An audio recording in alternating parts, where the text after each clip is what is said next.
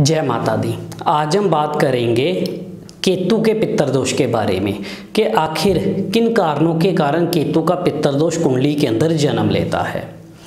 जो इंसान कुत्ते को मारता है या जान से मरवा देता है या खुद उसको पीट पीट करके मारता है। ऐसे लोगों के घरों के अंदर केतु की बहुत ज़्यादा खराबी होती है और आने वाली पीढ़ियों में केतु के हमेशा खराब प्रभाव रहते हैं, यानी कि जिसको हम पितर दोष भी जो है वो कहते हैं। या फिर किसी दुश्मनी के चलते जो लोग दूसरों के बेटे को मरवा देते हैं, चाहे वो किसी भी तरह से मरवाए तो ऐसे लोगों की कुंडलियों में भी कुत्ते को मारना या किसी की औलाद को मारना, ये योग जो बनता है, ये केतु का बहुत भयानक रूप बनता है और जिसको केतु का पितर श्राप भी बोला जाता है।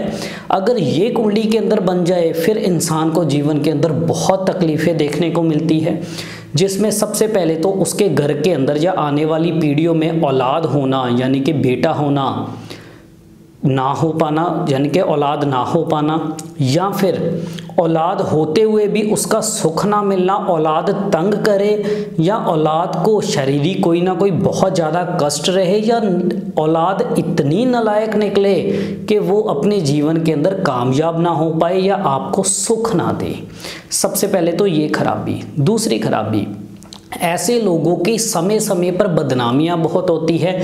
मान सम्मान बहुत अच्छा बन नहीं पाता, बिना वजह के एलिगेशंस लगते हैं, झूठे आरोप लगते हैं। चाहे ऐसे लोगों से ही कुछ ऐसी गलतियाँ हो जाए, जिसके कारण समाज के अंदर बदनामी देखने को मिले।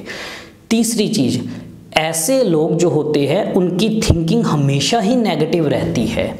कोई भी काम करने लगे हैं, उससे पहले हमेशा नेगेटिव सोच रहना। अगर किसी काम में पैसा लगाना है तो मन में एक अजीब सा डर बना रहे नेगेटिविटी रहे, पता नहीं इस काम में लॉस ना हो लॉस ना हो जाए। और नेगेटिविटी के चलते ऐसे लोग जीवन के अंदर रिस्क ले नहीं पाते और बहुत ज़्यादा आगे बढ़ नहीं पाते, हमेशा नेगेटिव सोचते रहते हैं। कुछ लोगों की तो नेगेटिव थिंकिंग के कारण अपने घरों में क्लेश भी करते हैं।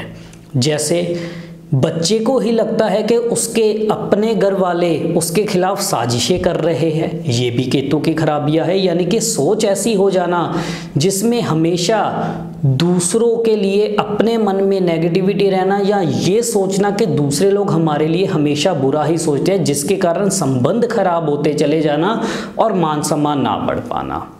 और साथ ही ऐसे लोगों को किसी भी तरह से कमर, पाँव या रीढ़ की हड्डी या गुप्तांग से संबंधित दिक्कतें भी रहती है। किसी भी तरह से एक्सीडेंट हुआ जिसमें टांग टूट गई, जिसमें चलने के लायक ना इंसान रहा, या किसी भी तरह से कमर के अंदर ऐसी ऐसी तकलीफ़ें रहना जिसमें चलने में प्रॉब्लम आना, ये जितनी भी खराबियाँ है, ये सारी केतु देव की खराबियाँ है। और साथ ही जिन लोगों को अपने दमादों का सुख नहीं मिलता, यानी कि लड़कियों के पति के साथ संबंध अच्छे नहीं हैं, दमादों से संबंध अच्छे नहीं हैं और उनकी बेटियाँ अपने ससुराल में सुखी नहीं रहती, दमाद अच्छे नहीं होते, ऐसे लोगों की कुंडलियों में भी केतु देव खराब होता है। तो अगर आप इन चीज़ों के उपाय करके चलते हो, जो अभी मैं आप सबको बताने जा रहा हूँ वो अगर आप उपाय करके चलते हो तो ये सारी चीज़ें ठीक होंगी। दमादों के सुख, बेटे के सुख, कामकाज का सुख, इज़्ज़त, मान, प्रतिष्ठा, सेहत, कमर, पाँव की किसी तरह की कोई दिक्कत ना, नहीं आएगी। इसका उपाय क्या है? अपने पूरे ख़ानदान से पैसे इकट्ठे करके, उन पैसों से एक ही दिन में, बृहस्पतिवार के दिन सौ कुत्तों को खाना, भरपेट ज़रूर खिलाइए। मात्र अगर आप यही उपाय कर देते हो तो ये सारी तकलीफ़ें आपके जीवन से दूर होंगी। इसी तरह से हम और भी विषयों पर चर्चा करते रहेंगे। इजाज़त दीजिए। जय